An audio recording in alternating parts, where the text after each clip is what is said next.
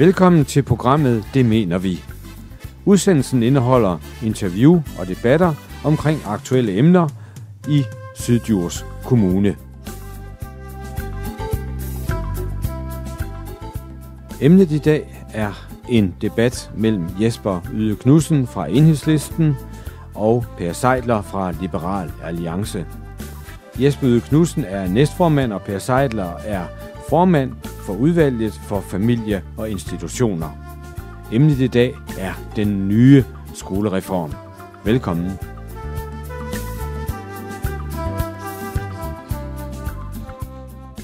Jesper Yde Knudsen, du er jo ny i byrådet. Ja. Så derfor synes jeg, at det kunne være interessant at indlede den her udsendelse med, øh, hvem er du? Ja, øh, jeg bor jo i Rønne, ja. øh, og øh, har to børn på 11 og 15, øh, og jeg er gymnasielærer på Rønne Gymnasium, hvor jeg underviser i øh, biologi og bioteknologi og samfundsfag. Øh, og jeg har jo øh, været interesseret i politik og øh, også i de nære ting, mine børns forhold, øh, i lang, lang tid. Jeg har været i øh, vuggestuebestyrelse, jeg har været i børnehavebestyrelse, jeg har været i skolebestyrelse. Øh, og det har gjort, at jeg øh, har haft lyst til at stille op til byrådet og påvirke tingene. Øh, for jeg synes, det kunne man jo nok gøre lidt bedre. Jamen, har det noget at gøre med, at nu, nu har du den uddannelse, øh, og du er gymnasielærer. Ja. Er det det, der ligesom har gjort, at det er den vej, du har sat fokus på i forbindelse med dit politiske liv her i Hvad mener du med fokus? Altså på? Ja, fordi øh, nu skal vi jo diskutere lidt om skoleområdet. Ja. Ja, ikke? Så det er vel ikke helt, helt ved siden af, at du har valgt lige nok til den? Nej, det er, hænger jo nok sammen. Ja. altså Men, uddannelse og, og børn, øh, unge, øh, det er jo klart, at det er nogle af mine interesser. Ikke at jeg ikke også interesserer mig for en hel masse andre ting, men, men det, øh, det er nok derfor, ja. ja. Hvor mange år har du egentlig gået og tænkt på at skulle ind i det politiske liv? Jamen, jeg har, jeg har sådan set interesseret mig for politik, siden jeg var ganske ung, øh, men... men øh... Er du ikke det nu, eller? Åh, når man er rundt i de 50, det er ikke det. Åh oh, ja, det er okay. god råd, en, en af mine elever skrev i en aflevering en, en, en ældre dame, og det var, hun var 50, så ja. det protesterede jeg altså også over. Det sætter ligesom normen. Men ja. det er, hvis man er, hvis man er 17, så er 50 år jo, jo rigtig gammel. Jo, med hensyn til øh, skole, ja. øh, området, som du har fokus på. Mm. Øh, jeg kunne godt tænke mig at vide lidt om, øh, hvorfor at du, du som øh, politiker ikke interesserer dig for noget, der er kontra din, din øh, uddannelse. Jamen det gør jeg også. Det gør altså, du også? Ja, ja for delen da. Øh, ja. altså, nu kan man sige, nu er jeg jo biolog, så øh, ja. alt omkring miljø, øh, økologi ja. og den slags øh, interesserer jeg mig da vældig meget for. Arbejdsmarkedet synes jeg også er interessant, hvordan vi behandler øh, eksempel arbejdsløse, hvordan vi skaffer flere jobs. Øh, det synes jeg da er utrolig interessant. Øh, og ældreområdet synes jeg da også er interessant. Det er jo måske, ja, det, jeg føler jeg måske knap så tæt på, men, men det synes jeg da også er, er rigtig, rigtig vigtigt. Ja. Så, så jeg skal mig interesseret hele vejen rundt. Ja. Man kan jo sige, at, at der er et udgangspunkt for, at, at jeg er blevet meget interesseret i kommunalpolitik, og, og det er den ene ting. Øh, og den anden ting er jo også, at, at når man er valgt en ene øh, mand øh, for, for enhedslisten, som jeg er, så vil jeg selvfølgelig prøve at dække, hvad jeg kan, øh, men, men der er jo også grænser for, hvad man kan nå omkring. Øh, og nu er jeg så kommet i øh, familieinstitutionsudvalget, så, så, så det er der, jeg ligger hovedvægten, men det betyder ikke, at, at jeg ikke også vil beskæftige mig med andre ting. Hvad er din vision for Sydjyllands Kommune? Ja, min vision for Sydjyllands Kommune er jo, at borgerne øh, får mere øh, indflydelse og øh, bliver hørt øh, mere, og at man øh, fra kommunens side ikke bare hører borgerne, når man har truffet nogle beslutninger, men, men involverer borgerne i processen, og at vi øh, tager os af dem, der, der, der måske øh, er lidt uheldige her i livet, og at vi tænker på fremtiden, for eksempel øh, økologi, øh, miljø, øh, og jeg mener faktisk også, at hvis vi skal øh, udvikle Sydjurs og få en god økonomi, jamen så er vi jo nødt til at, at have en øh, velfungerende daginstitution og skoler, og, og vi er, øh, er også nødt til at, at brande os på nogle af de ting, som, som er rigtig gode i Sydjurs Kommune, altså naturen, øh, miljøet og den slags. Det er jo ikke nationalpark for ingenting. Nej, nemlig. Per Sejler, du har jo været med i byrådet i nogle år efterhånden, sådan plus minus. Øh, men jeg synes også, vi lige skal have et, en lille præsentation af dig. Øh, hvem, hvem er du egentlig? Nu har du interviewet mig før, Ole, ja. så velkommen igen. jo, tak. Øh, jamen, jeg hedder Per Seidler, og er faktisk også 50 år nu, apropos det Jesper, han lige snakker om før med alder. Så er det jo en god moden alder, men jeg ved godt, når man snakker med sine børn, så synes de jo på en eller anden måde, man er gammel. Men hvis man tager bøjningsformen, gammel, ældre og ældst, er det så bedst at være gammel, eller bedst at være ældre, eller hvad er det, man er? Så jeg synes faktisk, jeg er i min bedste alder i fuld vi gør, og øh, man kan sige, at øh, i det her tilfælde her, der, der er det jo min fjerde periode i forhold til byrådsarbejde. Øh, jeg har ikke siddet alle øh, tre perioder de foregående fuldt ud, men sad næsten halvdelen af, af, af da sammenlægningen skete. Men ellers har jeg jo startet jeg jo i Rønne Kommune. Og som Jesper han også siger, så startede min jo også ved, at jeg har både siddet i en skovbørnehavebestyrelse, jeg har, jeg har været formand for en skolebestyrelse. Det, nu, det, det, det erværende Rønde Byråd ville lukke skolen i Ugelbølle, og det fik jeg kæmpet imod ved at mobilisere bestyrelser og forældre.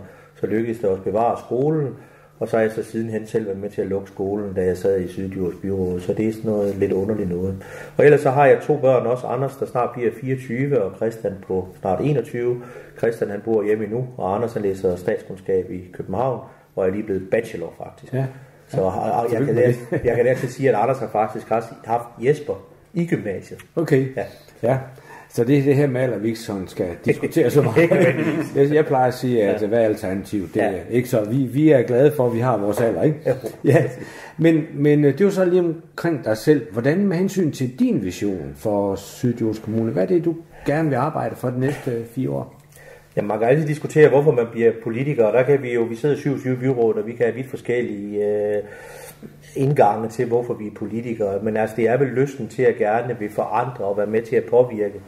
Øh, og så kan man sige, at i Sydjords Kommune siden sammenlægningen, der har et af de helt store problemer været økonomien. Mm-hmm.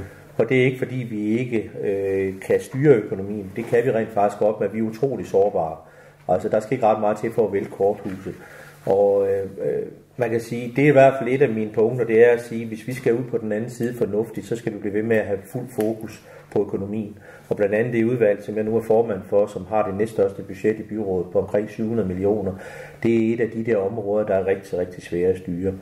Men altså visionen for Sydjord som sådan, det er jo selvfølgelig et af vores vigtigste primært næste fireårsperiode, og det er også det, borgmesteren har lagt sig for scene. Det er, at vi skal have skabt nogle flere liberale erhverv, vi skal jo gøre det nemmere at have liberale erhverv i Syddjurs. Det vil sige, at på det forvaltningsmæssige plan, der skal man op i et højere gear i forhold til øh, at give folk nogle, nogle, nogle hurtigere svar. Ikke fordi det går langsomt i dag, men det kan måske godt gøres bedre. Men samtidig så skal vi også sørge for, at, at det bliver gjort muligt, det man ønsker. Øh, og så skal vi have fuld fokus på bosætning, især det udvalg, som, som Jesper og jeg nu sidder i, hvor Jesper er næstformand der har vi jo faktisk en del problemer omkring demografien, fordi vi ved over de næste fem år, der kommer vi til at mangle omkring 130-40 børn i 0-5 års alderen, som det ser ud nu, hvorimod ældreområdet, det stiger næsten lodret. Og hvis ikke vi får en modvægt til, til for eksempel det, jamen så betyder det faktisk mistede skatteindtægter for Sydjyllands Kommune, og dermed også en ringere økonomi. Så fuld fokus på turisme, erhverv og bosætning, det er i hvert fald det, jeg lægger mig i scenen, og så selvfølgelig at styre det udvalg, som jeg nu er formand for. Jesper, nu har vi jo lige hørt øh, Per fortælle lidt om bosætning, liberale erhverv. Og øh, hvad siger du til det? Jamen, øh, bosætning øh, i Sydjord, så synes vi, det er vældig fint. Vi har overhovedet ikke imod, at, at folk kommer til Sydjords og bo. Øh, det vi synes er, at, at øh, vi har nogle kvaliteter i Sydjords Kommune. Det er for eksempel øh, natur, øh, og vi har en, en masse gode øh, tilbud også øh, omkring institutioner.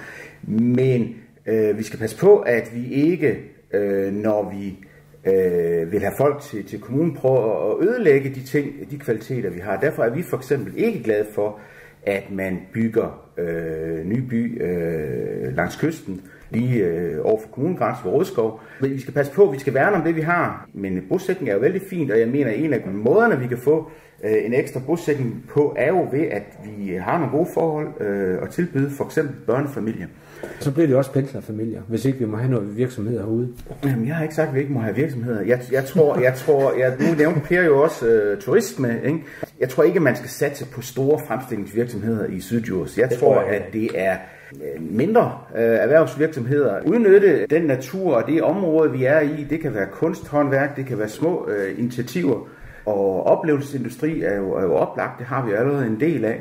Og det er jo alle sammen nogle ting, der, tænker jeg, der udnytter den fantastiske natur, det fantastiske område, vi har. Så det er jo den der balance mellem at lukke op for noget initiativ, få noget gang i tingene, men, men jo ikke samtidig ødelægge det, som vi egentlig mener skal trække folk til. For jeg tror ikke, jeg tror ikke man flytter fra Aarhus øh, ud for, for at få en, en ny Aarhus, en ny forstad, en, ud i et parcelhuskvarter, der minder om alle de andre parcelhuskvarterer omkring Aarhus. Ser du, Per, hvordan, øh, hvordan som liberal parti ser du lige på den bemærkning, hun kom med der? Er du enig? Ja, du tænker på omkring for eksempel bosætning. Og ja, og det med, om vi skal have lidt virksomhed altså, jeg tror nok, jo, jo, jo men altså, jeg, jeg tror, altså man kan sige, man kan egentlig sige, at kommunen er jo opdelt i nogle forskellige områder, hvor man kan sige, at hvis vi vil have tungere industri, så er det jo primært Hornslet, tager vi Nordjur, så er det typisk Reno. Så det vi har brug for er jo selvfølgelig mindre virksomheder fra 10, 20, 30 til 50, hvis det kan lade sig gøre. Det kunne også være enkeltmandsvirksomheder. For så noget det kan virke, så skal man jo have infrastruktur på plads, og det er ikke kun veje, vi snakker om. Det er altså også med mobil, og det er internet osv. Der har byrådet udrullet en plan over de næste tre år, for at det kan lykkes. Blandt andet ud på Mols, hvor der er store problemer og andre ting. Det kan jeg sgu med om. Ja, det er jo, ude på Mols kan man jo stort set ikke snakke i telefon overhovedet, og man kan stort set ikke downloade noget som helst. Men, men omkring det her med det liberale erhverv, altså vi, er, vi skal jo have erhverv, som er, er mere serviceorienteret, kan man sige. Men det, det i bund og grund handler om også, det er jo for eksempel også, at vi i vores håndværksvirksomheder øh, får nemmere ved at tilegne sig noget arbejde. Blandt andet også, at øh, altså kommunen skal for eksempel lave, lave øh, om- og nybygninger for omkring 250-70 millioner de kommende tre år. Og der, der synes jeg, at det er vigtigt, at vi giver mulighed for, at man kunne sige Djursland eller Syddjurs for, får større mulighed for at byde ind på, på det arbejde, så vi ikke absolut tager, tager virksomheder udefra. Øh, og det er, det er også en holdning, det er politisk holdningsspørgsmål. Omkring bosætning, og så få nogle øh, familier hertil, og så for eksempel, hvis vi tager Roskov Eskerod, så kan jeg godt dele Jespers øh, bekymring i forhold til at pladstre et område til de kystnære områder. Der er også noget fredet skov og forskellige andre ting. Men derfor mener jeg alligevel, at vi bliver nødt til at arbejde på at få øget bosætningen, for eksempel i Roskov Eskerod. Men der ligger også helt i dag nogle naturlige byggefelter, hvor vi kan gå i gang med det. Fordi der er altså bare nogen, de vil gerne have, at de måske kun har 20 minutter til Aarhus. Det har de altså, hvis de bor der for eksempel. Ikke? Og jeg mener ikke, vi kan have fokus på, at folk ikke skal bo der. Vi skal lave muligheder der, hvor, hvor folk har lyst til at bosætte sig. Så skal vi selvfølgelig gøre det i respekt for naturen, og det ved jeg også, man gør, for ellers har vi straks nogen, der, der, der sørger for, at vi overholder den slags ting. Og selvfølgelig også respekt for dem, der bor der i forvejen. Jeg mener godt, det kan lade sig gøre. Og vi har jo lige vedtaget en kommuneplan i december, der omhandler både det blå bånd og det grønne bånd. Og det er jo faktisk et pejlemærke for os øh, for, for hele byrådet. Så kan man sige omkring, øh, når vi snakker turisme, det er også nogle gange lidt et slidt ord, men det, det jeg synes, man skal arbejde på, det er den der helårsturisme, som jeg mener, man kan gøre noget mere ved, fordi vi har jo turister i, i, i sommerhalvåret, kan man sige, men hvordan får vi lavet noget? Vi, er, vi, er, vi har det tredje største sommerhusområde i Danmark. Hvordan sørger vi for, at de også bliver beboet lidt mere om vinteren? Hvad er det, der skal til for, at, at, at vi, kan, vi kan trække folk hertil? Og det afhænger blandt andet også af lufthavn, blandt andet hvor folk kan flyve til, men det handler også om, at vi har noget godt at tilbyde her på stedet. For lige at runde den af med gode daginstitutioner, vi har fantastisk gode daginstitutioner. Vi har dagplejere, vi har integrerede institutioner, vi har gode folkeskoler. Hver gang vi får en, øh, nogle rapporter omkring det, før tilsyn eller andet, så bliver de faktisk ros til skyerne. Øh, så på den måde er jeg rimelig fortrøstningsfuld, men det er også under økonomisk pres. Øh, og det betyder også, at vi er også sårbare på det område i forhold til personale og andre ting, fordi vi klemmer vores personaler i dag rundt omkring. Ikke at vi har den ringeste normering, men vi har heller ikke den bedste. Men det, jeg synes, der er tankevækkende, det er faktisk, at hvis man sammenligner os med andre kommuner, så skal man faktisk tjene 2.000 kroner mindre for at bo i Sydjyllands Kommune, for at få passet to børn i henholdsvis en dagplejer og en børnehave i forhold til mange andre byer. Det er trods alt også et parameter, man kan tage med ind. Nu øh, nævnte øh, Per lidt omkring turisme og så videre, og hvordan vi kunne udvide det også om vinteren. Og der tænkte jeg på, var det ikke noget for jer at sørge for, at der kom en skibakke i Mols Bjerge? Altså, jeg ved ikke, om det er en kommunal opgave at lave skibakker, men altså, vi har jo øh, arbejdsløse i Sydjurs, og, øh, Om, og vi synes jo, at det er en rigtig god idé at, at bruge kommunen aktivt, gå ind og sige, jamen, øh, kan vi skabe nogle jobs? Forskellen til en, fra arbejdsunderstøttelse til en løn er jo ikke særlig stor, så kommer der en aktivitet ind. Så ja. kommunale initiativer også med hensyn til oplevelsesindustri, det synes vi er meget fint. Også fordi, øh, nævner det, det med, med skibakke, det er jo fredet område, så det er jo selvfølgelig udelukket. men, men det jeg tænkte på, det var, at nu for eksempel sådan et område som Mols, vi, man kan lige så godt sige, når vi snakker om det her, så er det selvfølgelig ikke noget omkring hovedemnet, vi skal diskutere senere. Men det er i og for sig en betingelse for, at vi kan diskutere skole, det er, at vi har nogle børn i området. Lige præcis. Ikke også? Jo. Så man kan sige, hvad, hvad gør man øh, for eksempel fra, fra din tanke, til at man for eksempel på Mols, hvor man siger, der har vi al den natur, der har vi al den form for turisme. Har du en intention om, at det kunne godt være interessant for dig at udvikle det, så man kan sige, at der kommer måske flere mennesker til Mols som bosiddende, fordi de kan leve af turisme på en eller anden måde? Jamen det synes jeg da helt klart, øh, og jeg, og jeg tror også, at jeg mener jo ikke, at den måde, man kommer frem økonomisk på, er ved, at vi skærer kommunens økonomi ned, så vi giver plads til de private.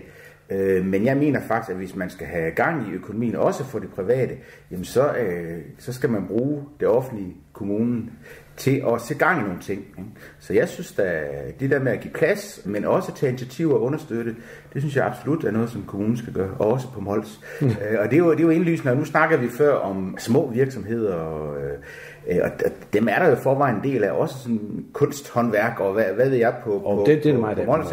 Ja. Det kan vi jo diskutere frem og tilbage, at, at jeg synes, man, man kunne godt have at kommunen tager initiativ til, til nogle øh, workshops, nogle steder, hvor man ligesom kan komme, hvis man har en god idé og understøtte. Men selvfølgelig er det ude i befolkningen, de gode idéer skal komme, så skal kommunen så ikke stille sig hindrende i vejen, øh, medmindre der er nogle gode grunde til det, og også øh, hjælpe med. Altså hvis jeg lige skal fortsætte det, som Jesper siger, så er det jo, så er det jo præcis det der med, det, det der fungerer bedst, er jo når noget gror nedefra.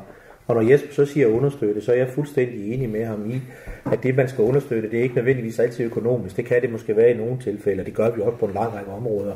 Men det er især det der med, at man ikke skyder folkets gode idéer ned, men tværtimod siger, at det er en rigtig god idé, det vil vi gerne kigge nærmere på, for de skal selvfølgelig have det til at lykkes. Ikke? For det er, det er den, hvor man kan sige, jeg godt kunne tænke mig, at Sydjurs kom ind på den tankegang, at det jeg har den på, alt er muligt, selvfølgelig inden for lovgivningens rammer, fordi vi har restriktive rammer her, hvor vi bor, Øh, ikke mindst øh, takket være politikere på Christiansborg, ikke, så er det svære og svære at lave planlægning og plan i det hele taget i kommunerne. Ikke? Og, dem skal, og det mener jeg, at vi skal udfordre. Når folk kommer med en god idé, så skal vi udfordre det, og så sørge for, at det måske kan blive en realitet. Det er nogle gange folkets idéer, det er trods alt øh, borgerne, vi sidder der for, det er tit borgerne, der har, de har altså bedre idéer end politikerne nogle gange. Og det mener du? Ja, det mener jeg helt seriøst. vi skal jo i det her den her udsendelse debatterer meget omkring folkeskolen og daginstitutioner osv. Men jeg kunne godt tænke mig at spørge dig, Jesper, hvordan er din holdning til omkring det med daginstitutioner? Fordi jeg forstår på dig, at der, kan, der er nogle ting, du synes, der er godt, men der er også nogle ting, der er problemer i.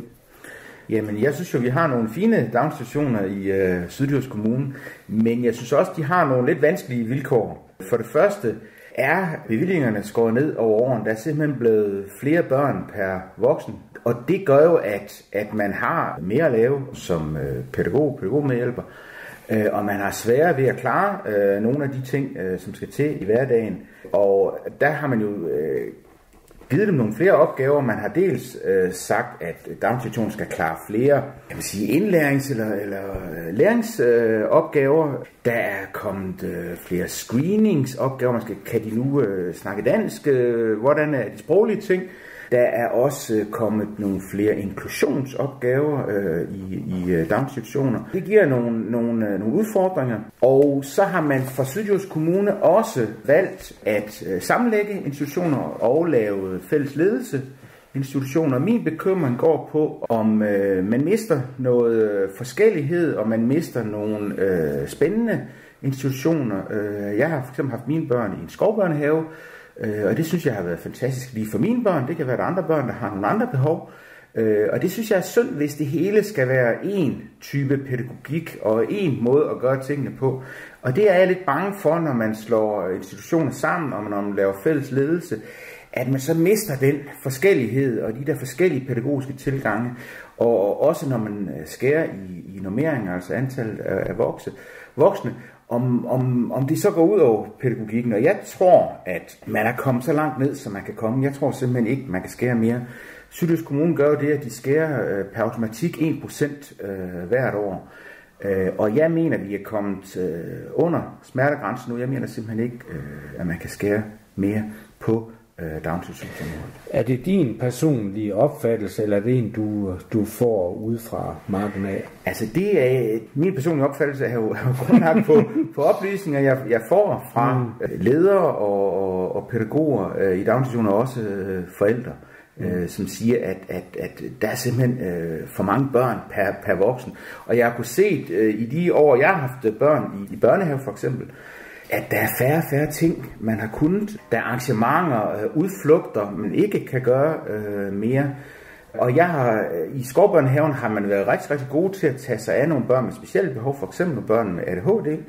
Og jeg har tit rost skovbørnehaven for, at det har de været rigtig, rigtig gode til. Og jeg synes desværre, at de senere år, når jeg snakker med dem, så siger de, jamen det her det eksempel, det gik rigtig godt, men vi har ikke kræfter til det i dag. Ikke? Eller vi kan ikke gøre det længere. Det er jeg bekymret for. Øh, og når vi snakker om, om udgifter, så tror jeg, at hvis man sparer for meget, klemmer det for meget øh, i de første år her, jamen, så kan man faktisk risikere, at man får en masse øget udgifter senere hen, fordi man ikke tager hånd om problemerne øh, tidligt. Så forebyggelse og, og tage hånd om, om problemerne tidligt, det mener jeg faktisk er det billigste på lang sigt. Men skal man, problemet er jo, at Sydjurs har en, en, en, en dårlig økonomi, øh, og så øh, har man skulle finde nogle steder at skære, øh, og alle steder har skulle holde for, Øh, og man har, synes jeg, kigget for meget på nogle kortsigtede. Men altså, jeg er godt klar over, at politikerne, der har været til, har haft nogle svære forhold. Ikke? Så det er ikke fordi, jeg siger, at det har været nemt. Nej, du kommer selv nu de næste fire år til at bakse ja, lidt med det. det er rigtigt. nu har vi så lyttet til, hvad Jesper siger. Hvordan, hvordan har du det med det, han siger? Er du enig med ham? Jeg vil sige, at på en lang række områder er jeg enig med Jesper. Og det er, at betingelserne er ikke blevet nemmere for, for de medarbejdere, som vi har i kommunen, der skal tage sig af vores børn. Jeg synes, vores øh, pædagoger og pædagogmedhjælpere og vores ledere, de gør et kæmpe godt stykke arbejde ud fra de rammebetingelser, som byrådet har sat dem. Øh, de løfter stadigvæk i fælles flok, og de gør det altid, hvad skal man sige, meget, meget positivt og konstruktivt. Men der er ingen tvivl om, at vi lægger nogle snærende bånd omkring dem. Og øh, man kan sige, at ved sidste budget her, som vi vedtog i efteråret, der skar vi igen godt og vel 2,5 millioner inden for det her område, som vi snakker om lige nu, daginstitutionsområdet. Og jeg har det også lidt sådan, hvor jeg siger til mig selv, jamen nu kan vi snart ikke gøre mere. Igen, så har vi en fælles lavkage, der skal fordeles. Man kan sige, det er vores lod, når vi også er politisk valgt at få, få køkkenregnskabet til at gå op. Og, og, og det må vi så gøre på bedste måde. Og jeg er da glad for også at høre Jesper, han deler nogle af de bekymringer, som jeg selv har. Så håber jeg på, at vi konstruktivt selvfølgelig kan se, hvordan vi kan påvirke de andre politikere i byrådet til også at og ligesom at sige, at det her område, hvis vi blandt andet snakker bosætning, så skal vi også sikre os den høje kvalitet, der stadigvæk er, at den skal også bevares. Så kan man altid sige, når Jesper snakker om det her med forebyggelse, jeg kan i hvert fald sige, at vi er en af de kommuner i Danmark, der har brugt flest penge på forebyggelse hele vejen rundt, i forhold til både når vi snakker børn, der er helt små, og så oppe i folkeskolen. Problemet med forebyggelse, det er, at det er svært at måle. For jeg har altid haft den samme tilgang, som Jesper han har, hvor jeg siger, at det vi forebygger nu, det skal vi ikke betale senere. Men jeg må også bare sige, at i de sidste fire år, øh, og så kan man sige, hvordan måler man så noget? Hvordan kan så noget måles? Og politikere er generelt utålmodige, men her er det mere økonomien, der gør os utålmodige, fordi vi måske ikke har tid til at vente på at se, om forebyggelsen reelt virker, som vi har bekostet penge i. Og det kan vise sig, som Jesper siger, at vi om ganske få år måske øh, det bliver endnu dyrere for os. Det er svært at vide. Men lige nu bliver vi nødt til at handle ud for det, vi har. Vi har jo lavet vedtaget en sektorplan, som sidst blev revideret i, øh, i byrådssammenhæng i 2011 for hele øh, dagtilbudsområdet. Og den beskriver jo lidt om de muligheder, vi har. Blandt andet den mulighed, som Jesper siger, hvor vi laver større fælles enheder, hvor der er fælles bestyrelser, øh, og der kan også være steder, hvor vi laver store daginstitutioner til mellem 80 og 120 børn, og jeg deler også Jespers opfattelse øh, af, at øh, jeg synes ikke, at vi skal lave ens institutioner. For jeg synes jo netop, det der særkende og særpræg, man har rundt omkring, og hvad enten det er Molsbjerge, eller om det er nu den blevet private skovbørnehave, eller om det er Nemtofte, vi snakker om. Det er jo noget med kultur at gøre de steder, og det må vi for alt i verden ikke ødelægge politisk. Men jeg tror også, som Jesper er inde på, at, at der er noget af det, der bliver ensret, fordi når vi sammensmelter nogle bestyrelser, laver større enheder, så er der også nogle ting, der bliver ensrettet. Det tror jeg ikke er så meget byrådets lyst til at gøre det. Det er igen den svære økonomiske situation, der tvinger os til at gøre det. Vi vil gerne have daginstitutioner og dagpleje i stort set, altså i alle områder i kommunen. Og øh, det kan man sige, det er jo, når vi også ved, at der er et faldende børnetal, hvordan er det så, vi takler det bedst muligt? Fordi hvis vi, hvis vi vil, Jesper og jeg og det øvrige byråd gerne vil lave bosætning, hvor man kan sige, at folk kan bo, hvor de vil, så er det også vores opgave at sørge for, at de som minimum kan få øh, altså et pasningstilbud for de 0-6-årige i de pågældende områder. Og det er rigtigt, som Jesper også siger, at der er læreplaner, og der er sprogscreening og alt muligt, man skal i dag. Og jeg forstår også godt, det er ikke mange dage siden, vi var ude i Æblehaven, ude i Æbletoft, hvor vi var sammen med tre bestyrelser og tre børnehaver derude. Og det er faktisk, der skal vi, vi, vi nedlægger en børnehave derude og samler det i to.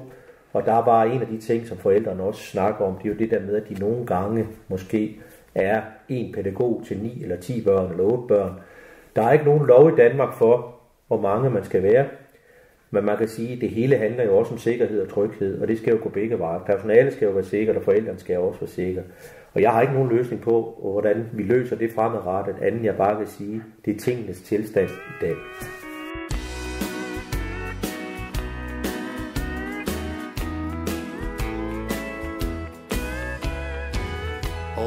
Skønt at være nede på havnen her til morgen. Og på vej i skole, men her lige nu er sgu over.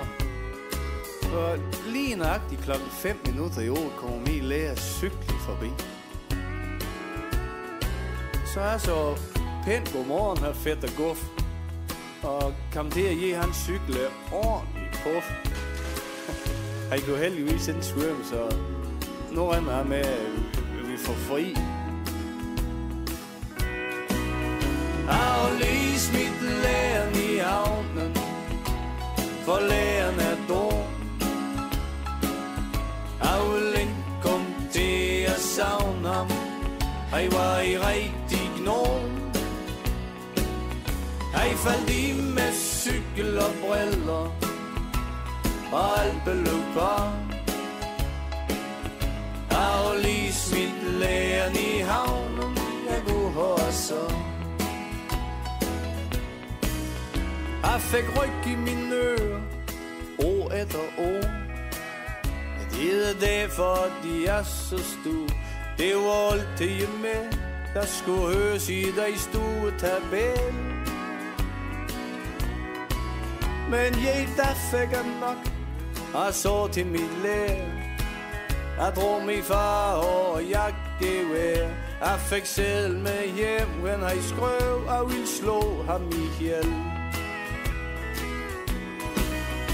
har lige smidt læren i havnen. For læren er dum. Jeg vil ikke komme til at savne ham. Han var i rigtig gnom.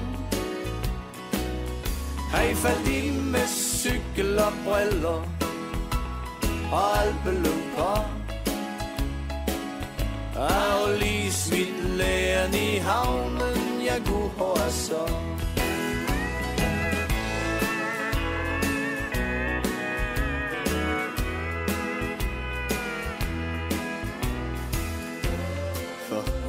Nu kommer Falksonen, og, og de er på vej ned på havnen. Jamen, øh, så må jeg nok heller lige smutte ned og se, når de fisker ham op. Der kommer han cykel. Ja, der er lige så pænt som ny. Og der, åh oh, nej, der kommer Fætter Guff. Hold da kæft, som har spræller. Nå, jamen, så tror jeg nu nok, at jeg er nødt til at pjekke for skole i morgen. Aflis mit læren i armen, For læren er dum. Jeg vil ikke komme til at savne ham. Han var i rigtig gnom. Han faldt i med cykel og briller Og alt blev bare. Aflis mit læren i havnen Jeg går høre så.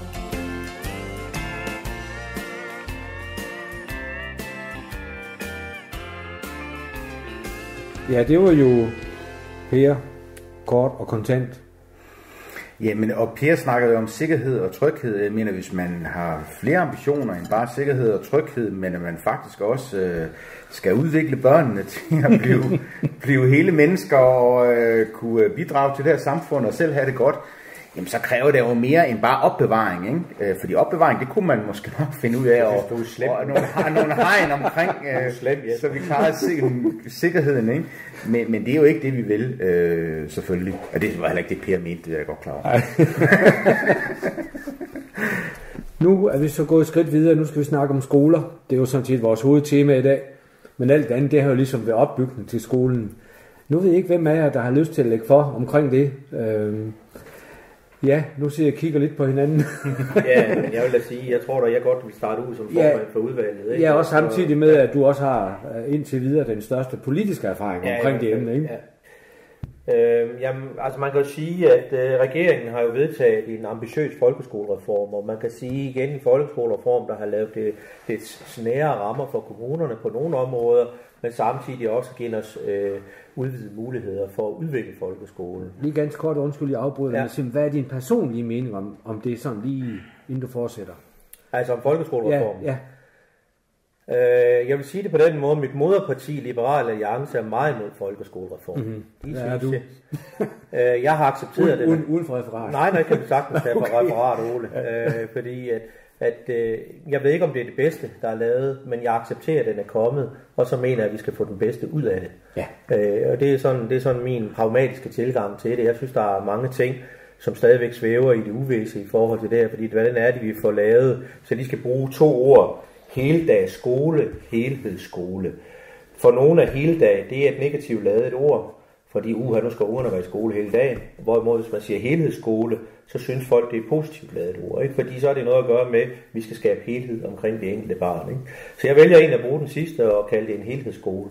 Og hvordan er det så, at vi får det strikket sammen i forhold til, at der skal øget motion og bevægelse, og som noget helt nyt i folkeskolereformen, så skal børn faktisk måles på trivsel. Jeg er ikke helt klar over endnu, hvordan vi får sat det på skinner, og så måle, hvordan måler man trivsel. Øh, men det er i hvert fald en af de parametre, man også skal måle på. Den næste ting, det er, at der ligger bundne timer, det vil sige generelt for alle folkeskolebørn jo flere timer i folkeskolen. Øh, fordi at man jo internationalt, øh, man, vi er jo international konkurrence, global konkurrence med Kina og alle mulige andre om at blive dygtige. Og man kan sige, at øh, de sidste mange år, der har det jo nok skræntet lidt med, med fagligheden i forhold til folkeskolen, i forhold til dem, der reelt går ud af folkeskolen uden egentlig at have en, en, en, en afgangseksamen. Det gør det igen sværere at få en ungdomsuddannelse. Så der er ingen tvivl om, at der er ting og sager, der skal opprioriteres i forhold til det. Og hvordan skaber man så den? Det er så det, vi er i gang med i Sydjysk Kommune, for øvrigt i det, i det ganske land. Og man kan sige, at vi er i fuld gang, og det, der er min mission her, det er selvfølgelig, at øh, Familie- og Institutionsudvalget får lov til at komme frem med deres politiske vision omkring øh, den her folkeskolereform. Og øh, derfor er der blandt andet også åbnet op for, at der er lavet sådan en, det, man kalder møde op til den åbne skole den 6. februar over på Marienhofskolen, hvor en masse foreninger, idrætsforeninger, klubber og musik, de kan møde op, fordi netop det, at folkeskolereformen har åbnet op mod samfundet, så, så man kan sige, at der er en masse, der kan være med til at påvirke folkeskolen i dag og gå ind i et samarbejde. Det forventer jeg mig faktisk en del af. Men øh, man kan jo ikke sige, fordi man laver en ny folkeskolereform, at så er den bare statisk. Altså den er overhovedet ikke statisk. Nu går vi i gang til august, og så kan man sige, så skal vi udvikle derfra.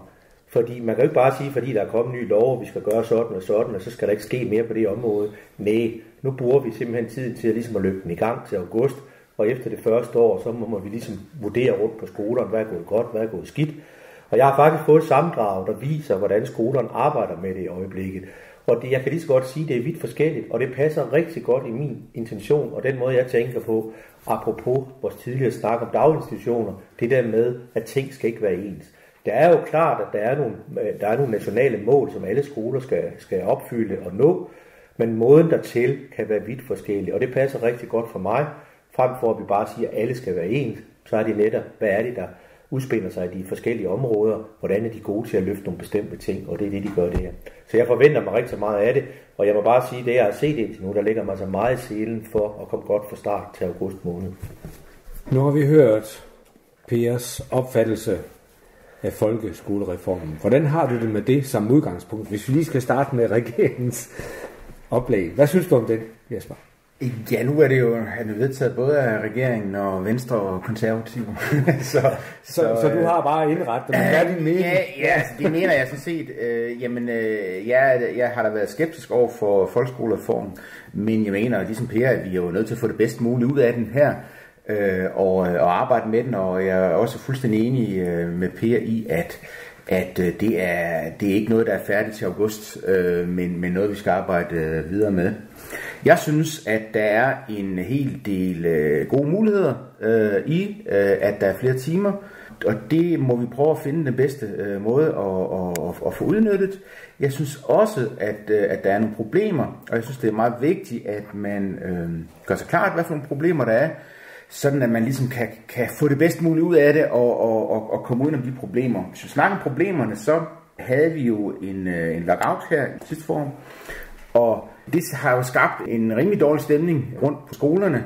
Det er jo ikke noget, som, som fremmer processen her, fordi vi ved jo alle sammen, at når man skal lave noget meget nyt, så kræver det jo, at øh, alle er med. Det kræver en enorm indsats. Øh, også en indsats ud over sådan almindelig, hvad man lægger i, i, en, i en almindelig arbejdsdag. Ikke? Ja, er det noget, du taler for dig selv som lærer, eller taler du? Det ved jeg for, som lærer. Nu er jeg jo selv gymnasielærer, ja. Ja. og vi havde en, en gymnasiereform for, er det snart en 10 år siden, Øh, og det var, det var da en enorm indsats, det krævede for os at, at, at få den øh, op at køre øh, og få noget fornuftigt ud af den. Ikke? Mm. Så det, det er et, et udgangspunkt, det, det synes jeg, man er nødt til at forholde sig, sig til. Så synes jeg også, at, at der er nogle problemer i, øh, i finansieringen af reformen. Det er jo rigtigt, øh, som Per sikkert vil sige lige om lidt, at, at vi har fået tildelt nogle flere penge til at gennemføre den her folkeskolereform. Men i forhold til den timeudvidelse, der er, øh, så svarer det altså ikke til, hvad, hvad det vil koste. Og det giver øh, nogle problemer. Øh, Sydjysk Kommune har valgt at sige, at alle lærerne skal undervise to klokketimer mere om ugen. Det svarer jo, hvis man tæller forberedelse med, jo cirka til, at de skal lave 10% mere inden for den samme tid.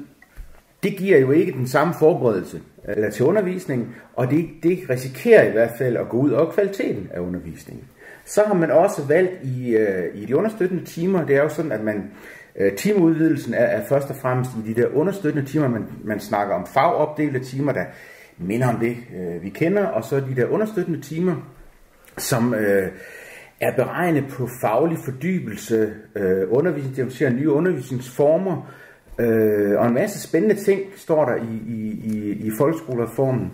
Men der har man jo, øh, så vidt jeg kan se, af rene økonomiske hensyn valgt, der skal være 20% lærere i de understøttende timer, og 80% pædagoger. Og der synes jeg, det er i hvert fald en udfordring, at få de der understøttende timer til at virke sammen med de fagopdelte timer, øh, når nu der er så få lærere involveret i det.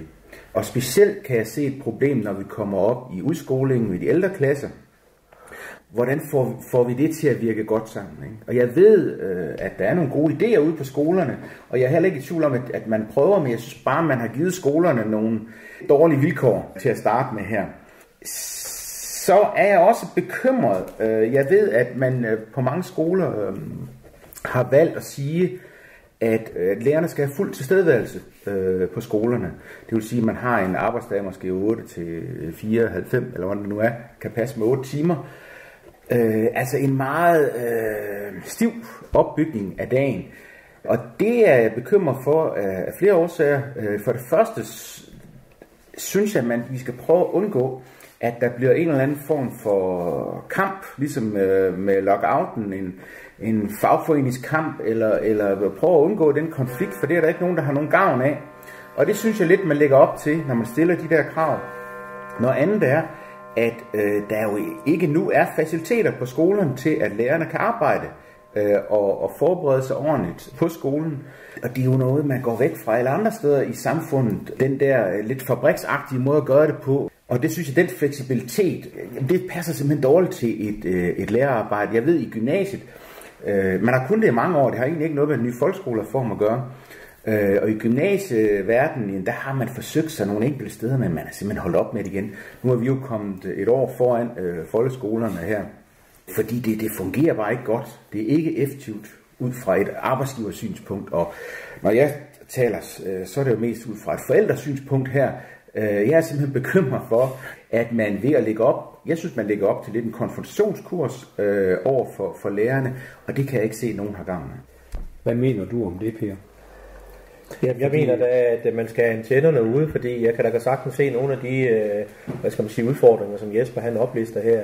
Man kan sige, at øh, lærerkonflikten, den kan man have en politisk mening om, som kan være positiv eller negativ. Altså jeg må sige det på den måde, hvis jeg opfatter det øh, ud fra mit eget synspunkt, ikke nødvendigvis udvalget og heller ikke byrådet, men fra mit eget synspunkt, så tror jeg, at den lærerkonflikt, man havde, var et nødvendigt opgør med et system, hvor man kan sige, at øh, selve overenskomsten for lærerne stort set ikke har været revideret siden 1993, men der var bare bygget på. Det betød også, at du havde så mange lærere ansat rundt omkring under forskellige regler, øh, så det stort set var svært i det hele taget at lave en ordentlig planlægning. Derfor kan man sige, at måden det så blev gjort på, det er måske ikke til, til 12-tal, den måde man har løst konflikten på, og heller ikke efterfølgende. Det har også vist sig jo i forhold til valget, at man kan sige, at de, de, de partier, der er gået ind for det og blevet straffet, og det har så til gengæld givet god vind til blandt andet Jesper og hans parti, der hedder Enhedslisten, ikke? fordi mange lærere har simpelthen flyttet fra nogle af de, de, de andre røde partier til Enhedslisten på baggrund af det. Så, så det kan man sige, det, det, det kan man så profisere af politisk måske, og så må Jesper selvfølgelig også ud og, og, og, og snakke lidt for sin syge moster omkring det der. Øh, så kan man sige, omkring de der to klokketimer mere, jamen det har jo været i mantra i mange år, man gerne vil have lærerne til at undervise noget mere. Man kan sige, Jesper har selv været udsat for gymnasiereform. Jeg er faglærer på en teknisk skole. Jeg har været udsat for det samme i 2008, hvor man gjorde nøjagtigt det samme, hvor man lavede et opgør med, med den måde, vi øh, skulle, skulle undervise på, og vores forberedelsestid. Og øh, og jeg giver Jesper ret i det der med, at, at det virker ikke særlig moderne, at man nu begynder at låse nogle læger fast fra 8 til 4. Men rent faktisk tror jeg faktisk, der er læger, der godt kunne ønske sig det, fordi som de kan sige, så er det slut med, med forældremøder om aftenen. Jeg kender min arbejdstid, jeg skal ikke mere lave noget i weekenden osv. Så, så der vil være en portion, hvor det her passer godt til. Hvorimod der vil være andre læger, eller mig selv og også Jesper, der har det godt med friheden under ansvar i forhold til ligesom selv at kunne være med til at bestemme, hvornår er det, jeg retter min opgave. For der er altså bare nogle gange, så arbejder jeg altså bedst om lørdagen eller onsdag aften kl. 9-12. Øh, og den frihed, hvis man, hvis man er så vidtighedsfuld og gør sit arbejde, og det er tilfredsstillende, så synes jeg jo også, det er en god måde. Men det vi jo netop har gjort ved hjælp af den her lærerkonflikt her, det er jo netop, at nu skal lederne på skolerne, altså skolelederne, jo netop til at lede. Og det betyder jo også, at man skal til ved hjælp af, af medsamarbejdsudvalget finde ud af, hvad er den bedste konstellation for vores skole. Og, og ja, byrådet har ikke nogen intention om på, øh, på den måde at blande sig i, hvad man gør på de enkelte skoler. Det er netop der forskelligheden kan komme ind øh, til at sige, hvad er det for nogle aftaler, vi træffer på de enkelte skoler. Det må de selv finde ud af. De skal bare, lederen skal kunne stå inden for det, for det er jo ham, der refererer, hvad skal man sige, ansvarsmæssigt over for udvalg, over for byrådet, over for forvaltningen. Ikke? Så er der det her med, med, med, med det her med lærerarbejdspladserne. Der er der altså nogle skoler, de er i fuld gang og har for, for de penge, de har på budgettet, indrettet øh, arbejdspladser til lærerne, forberedelsesrum osv., og nogle af dem, altså jeg har set nogle af dem, og de er ganske, ganske gode. Så er der nogle skoler, hvor man er mindre utilfreds, men Jesper bør også huske på, at vi jo i byrådet jo netop sætter penge af øh, i anlægsinvesteringerne, som vi netop kan give nogle penge til at lave de her arbejdspladser. Så ligesom for at holde det på plads, så er jeg ganske godt tilfreds med det, der sker. De skal undervise to klokketimer mere om ugen, og så snakker Jesper om kvalitet, og der kan man jo altid sige, hvad er kvalitet? Fordi jeg giver da ret i, at forberedelsestid er et meget vigtig faktor i forhold til, at man også kan lave en god undervisning. Men forberedelsestid er også meget afhængig af, efter hvilke fag man underviser i. Der er nogle fag, der bruger du, skal du bruge rigtig meget øh, forberedelsestid til. For eksempel, både Jesper og jeg underviser i samfundsfag, og det kræver altså, at man er oppe på beat eller med på det sidste nye. Der kan være noget slavisk, man skal lære i forhold til noget, men hvis man også vil lære noget om nutiden, så kræver det i hvert fald meget forberedelse. Ikke? Så, så men lad nu dem snakke om det på skolerne. Det er sådan set det, vi har valgt skoleledere til. Men øh, jeg tror på, at, øh, at det er den her folkeskolereform, og Jesper han snakker også lidt om økonomi, og det er også øh, rigtigt. Altså, vores ønskescenarie i forhold til, til, til byrådsbeslutningen, i forhold til økonomien, det var omkring 50% læger til understøttelse og 50% pædagoger. Det havde en værdi af, af omkring 24 millioner, øh, men byrådet valgte altså at give 17, og derfor fik vi den her 80%, 80% øh, pædagoger og 20% læger. Det kostede så 17 millioner på helårsbasis. Og det kan man diskutere, det er meget lidt. Det jeg synes, der er, er, er vigtigt at have fokus her, det er, Vi har ikke fjernet penge fra folkeskoleområdet. Vi har faktisk tilført folkeskoleområdet øh, 17 millioner kroner mere om året. Det er ikke sikkert, det er nok, men der kommer jo også øh, øh, budgetter fremadrettet, som blandt andet Jesper han skal være med til at udmønte. Ikke? Og så kan det her jo øh, blive vendt igen. Fordi det er jo det, vi kan gøre hver år, så sige, øh, hvor er det, vi skal tage penge fra for at give noget til noget andet, eller, og sådan nogle ting.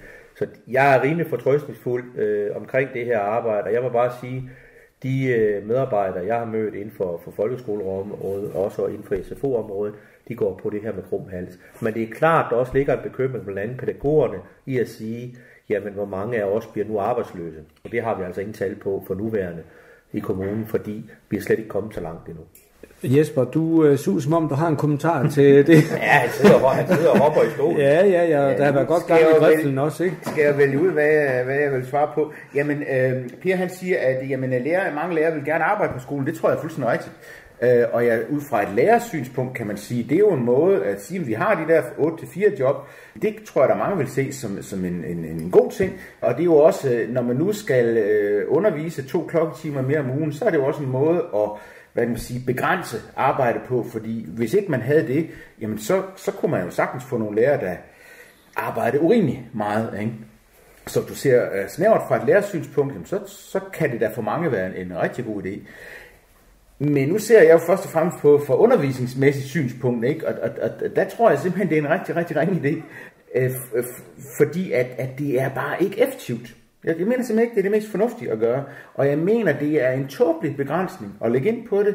Det er en ene ting. Det kan blive tolket af lærerne som en, vi tror simpelthen ikke på, at I laver noget, øh, nu skal I med sidde her, sidde af der. Ikke? Selvom I er færdige eller ikke har noget, så skal I sidde der. Øh, har I for meget, jamen så, så er det bare ærgerligt. Så må vi stoppe der. Ikke? Ja, det, det, det, det er simpelthen ikke effektivt. Ja, jeg, jeg, er helt, jeg er helt uenig, for jeg, jeg er sikker på, at man løser den her såkaldte problematik på skolerne, ikke? fordi det er jo fornuftige mennesker, vi har med at gøre. Og jeg har i hvert fald som politiker tillid til, at det system selv finder ud af de her ting. Mm. Og jeg må sige, det der med kvaliteten, ja, det kan man diskutere på den ene eller den anden måde. Jeg tror jo også på, at de mennesker, man har ansat, de går ikke ud og laver en dårligere undervisning. En, en hver lærer, det ved Jesper også med respekt for sig selv, og det gør jeg også. Vi går jo ikke ind og underviser nogen, nogen steder, hvor vi tænker, at det her det har du egentlig ikke forberedt godt nok. Vi sætter da en ære i vores job, og det gør folkeskolelærerne da selvfølgelig også. Og det er jo fordi, vi har en høj grad af ansvarlighed, yes. øh, og fordi vi ikke har sådan en pølsefabriksmentalitet, hvor vi bare gør vores arbejde i den tid, og så går vi hjem. Men problemet er jo, det er jo det, man er ved at prøve at indføre, så vidt jeg kan sige. Det er i hvert fald frygten. Jeg frygter, at det er det, øh, man prøver at indføre. Men kan, kan, kan, kan vi ikke blive enige om, at der er nogle af de der ting, du frygter, og du mener, mm. at vi måske lige har et stykke tid, et års tid eller to, til at se, hvordan det kommer til at virke? Hvem er det, der har, har ret?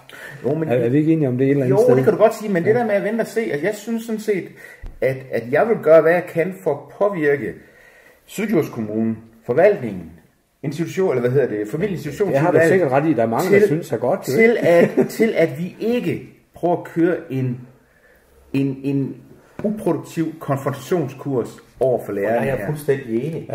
Ja. Men jeg tror bare på, at det løser helt af sig selv, for det gør man altså ude på skolerne, det her. Men det, jeg kan godt for, altså det, hvor jeg kan følge Jesper, det er selvfølgelig, at jeg kan følge Jesper i at sige, hvad er det for et politisk signal, vi sender. Ja. Og der kan man sige, Jesper han sender et signal, jeg sender et andet signal, hvor jeg siger, jamen det er som det er, de løser det selv. Jesper, Jesper vil måske hellere have en mere, hvor han, hvor han mere øh, siger, vi ønsker noget andet, eller vi ønsker ikke, det skal være sådan. Jeg mener, jeg, jeg mener i hvert fald ikke, at Sydjords Kommune og forvaltningen skal presse på for, at man skal have fuld tilstedeværelse ude på skolerne. Øh, hvad de så beslutter sig for på en enkelt skole, det, det må de selvfølgelig øh, finde ud af, og så kan de jo lave det om. Øh, det mener jeg er meget vigtigt, at man lægger op til skolerne, at de drager nogle erfaringer, og så kan lave det om. Der var lige en enkelt bemærkning, Per havde før også, det var der, øh, men var der, han vil ikke blande sig i, hvad de nu gjorde ude på skolerne, men man har jo lagt en økonomisk ramme, ikke? og det er jo også at blande sig. Øh, kan det, er jo, det er jo vores ansvar. Det er klart. Ikke også? Hvordan man udmønter det, det er jo, det er jo deres eget ansvar. Ja. Ikke? Det er jo også det med decentralisering, ja. Jesper. Per, en af de emner, som du synes, der er vigtigt, at vi skulle diskutere, det er jo hjemtagelse af børn fra fire skolen og vi er jo enige om, at det er noget, der er oppe i vælten i øjeblikket. Hvad er din kommentar til det? Jo, men det er jo, man kan sige, det er jo, det er jo på en måde øh, en, en, en, en trist historie, fordi det har jo floreret rigtig meget valgkampen, kan man sige. Både Jesper og jeg har jo taget aktiv del i det her omkring hjemtagelse af børn. Og det er jo fordi, at man i byrådet tidligere har lavet sådan en gentleman agreement, hvis man kan sige det sådan, at de børn, der gik øh, i de her tilbud, vi havde specialtilbud, de skulle have lov til at gøre deres skolegang færdig det pågældende sted. Så har økonomien gjort, at vi har nødt til at revurdere det, og det betyder rent faktisk, at vi begynder at hjemtage børn, primært for Firkløverskole, men også for andre regionale tilbud. Øh, og det er jo, vi har jo givet forvaltningen en, en ramme på 2,5 millioner, der skal spares i 2014, øh, som er stigende i 2015 på helårsbasis. Og det man kan sige, det er, at jeg tror ikke, der er nogen, der ikke har fuld forståelse for, hvordan de her forældre har det. Og lige præcis i de her dage her, eller øh, øh hvor vi sidder her i dag, faktisk øh, i går, der har 10 forældre fået svar på, hvad det er, at deres barn øh, bliver henvist til vores eget specialskoletilbud i Pindstrup blandt andet. Det man bare skal huske på, det er, at byrådet igennem de sidste fire år faktisk har bestemt, at vi sender færrest mulige børn ud i, hvad skal man sige, et regi, der ikke er vores eget øh, men at vi faktisk beholder dem hjemme, enten ved hjælp af inklusion i de specialklasser, vi har i folkeskolen, eller hvis man, man kan sige, man er mere afhængig, så er det på Pindstrup-skolen. Og vi har så altså dels dygtige folk til at løse den her problematik. Noget af det, der nogle gange bliver skudt i skoen, det er, at vores, vores egen øh, specialskole kan løfte den her opgave, eller Ådalsskolen kan løfte den her opgave. Og det øh, kan man sige, det kan vi have så for forskellige vurderinger på. Men det siger man, at man kan. Ikke? Og det er jo, man kan sige, noget af det, vi jo har arbejdet på også i efteråret, og man kan sige, principperne for hjemtagelse af børn, det blev vedtaget i november måned på byrådsmødet. Der blev principperne vedtaget for, hvordan det her det skulle foregå. Og et af dem er blandt andet, at de må ikke få et tilbud, der er dårligere end det, de har. Og så kan man sige, hvem skal vurdere det? Ikke? Og det kan man sige, med det, der er foregået her, der har der været øh, tre uafhængige folk, øh, der har været inde og vurdere øh, på de her 10 børn, der skal tages hjem. Og der er blevet sagt til dem, at, de, at det har godt nok været, at det har været, det har været personale fra Sydjords egen kommune, som har forstand på det her, sammen med skolechefen, og de har fået at vide, at de skulle ikke bare sige ja til den pågældende, fordi de føler sig forpligtet til. De skulle komme med deres oprigtige mening. Og ud af dem, der er blevet valgt ud, der har, der har man altså, der har alle været enige om, at det, det kan man godt håndtere i eget regi. Hvis jeg skal anfægte noget, og det har jeg gjort rigtig meget under valgkampen, og det har jeg også gjort øh, hvad skal man sige, også da jeg kæmpede som det sidste i november måned for at få ændret på de her principper, så er det måden, vi har gjort det på. Altså, den, øh, den, den øh, vil jeg, kunne jeg godt tænke mig, at vi gjorde om. Fordi det der med, øh, at, vi, at det kommer som et forslag i budgetkataloget, at ved at man gør den her, vi gør nu, så sparer vi så også så mange penge i 14 og 15 og 16 og 17. Ikke? Det er, at vi ikke har haft den her diskussion med de her forældre. Det er faktisk noget, hvor vi tager en beslutning i byrådet, at det vil vi. Men vi får faktisk, ligesom vi snakkede om, Jesper også har været inde på, det her med at, at lave en høring og snakke med borgerne omkring det her. Det skulle vi jo have gjort et halvt år for inden. Og jeg kan love dig for, at vi var nogen, der forsøgte også at få den her skudt tilbage, så vi kunne udsætte den måske til 15, øh, den her hjemtagelsesproblematik, for netop at få den fornødende snak med de her forældre. Men flertallet ville noget andet. Og jeg er bare nødt til at sige, at jeg kæmpede bragt sammen med andre indtil det sidste november måned for at forandre noget i forhold til principperne for hjemtagelse af de her børn her. Men jeg er også nødt til at bare at sige, at når så byrådet flertal vil noget andet, så er jeg også nødt til, i særdeleshed også nu er jeg blevet formand for udvalget, og så sige, jamen det agerer jeg efter. Det er en byrådsbeslutning. Og det er jo faktisk, så kan man kalde det demokrati eller ej, men der er altså et flertal, der står bag en beslutning. Det har jeg lojalt sammen med udvalget og prøver at sørge for, at det får vi udmøntet bedst muligt, fordi det er det byrådet, de vil så kan jeg have min egen personlige mening, hvor man ligesom kan sige, om jeg synes, det her er en super god idé eller ej. Men jeg har altså en enkelt kasket på, når jeg ligesom siger, at det her det er en opgave, jeg, jeg, jeg ligesom er, er blevet pålagt sammen med udvalget at, at gøre. Så kan der være nogle politikere, der synes, at det her det er stadigvæk ikke godt nok, og så kan de jo for den sags skyld forsøge at få den her sag ombragt eller omgjort, kan man sige. Problemet med det er bare, at der skal være ganske nyt i sagen, der gør, hvis man skal have en sag genoptaget på ny. Man kan ikke bare tage en ny sag op, fordi der er ikke nyt i det her. Der er blevet besvaret et hav af spørgsmål for forvaltningen igennem hele efteråret og også i år, hvor man stort set har fået vendt og drejet alle de spørgsmål, som berørte forældre er kommet med. Øh, og dem har man svaret på. Så for mig at se, så kører det her nu. Men det jeg godt kunne tænke mig fremadrettet, hvis vi skal lave drastiske ændringer inden for vores område, det er, at vi gør det på en noget smartere måde, end hvad det her har været præsteret. Det kan man ikke klandere en forvaltning for, det kan man kun klandere politikerne Ja, Jesper, hvad mener du om det her? Ja, Øh, men det er jo rigtigt, at man har besluttet at sende øh, færre børn øh, ud. Øh, man har besluttet at øge inklusionen øh, også i øh, almindelige øh, skoler. Og jeg synes sådan set, at som udgangspunkt er det en rigtig, rigtig god idé at, at prøve at beholde øh, så mange børn som muligt i det almindelige system. Jeg synes, det første, man må, man må tage udgangspunkt, det er at prøve at undgå, at børn får og det mener det skal man gøre så tidligt som muligt. Og der er vi tilbage til vores snak om daginstitutionerne. At hvis man har nogle ordentlige normeringer og nogle veluddannede personale i daginstitutionerne, så kan man fange en masse børn, og ved, at, at børn, der har nogle diagnoser, det kunne fx være ADHD, jamen de har en eller anden grunddiagnose, og hvis de så øh, har det dårligt, fordi der ikke bliver taget hånd om det socialt eller på andre måder, så får de nogle følgediagnoser, og så bliver det værre problemet. Ikke? Så derfor mener jeg, at en tidlig indgriben er, er en rigtig, rigtig god idé, øh, og så vil man kunne holde øh, nogen i det normale system.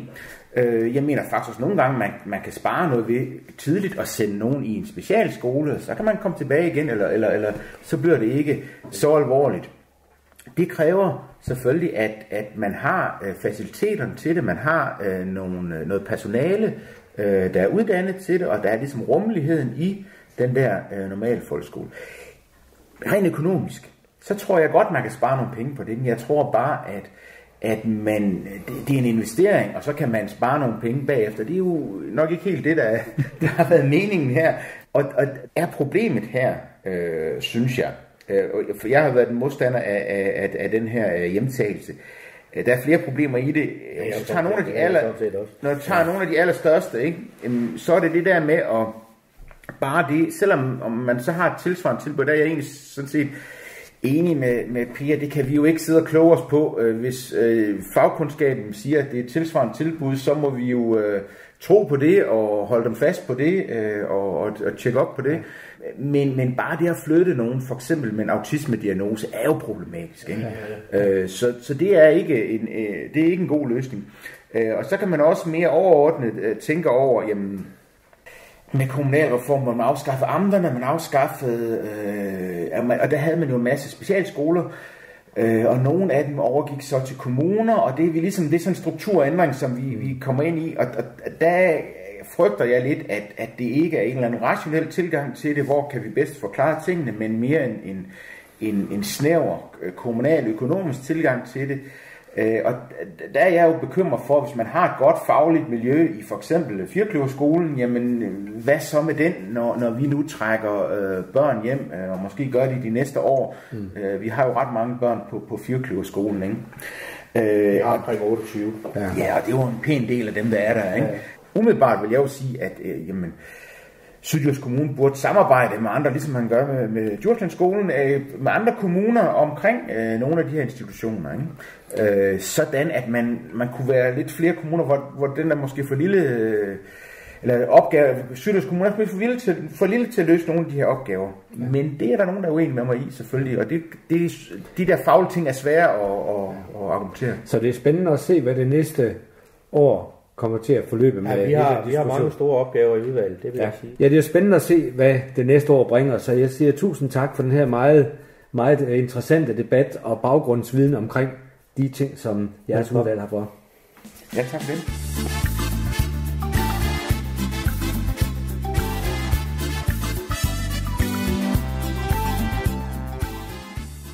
Musikken, I lyttede til i dag, var med i Grønbæk, jeg har lige smidt læreren i havnen, apropos skolereformen.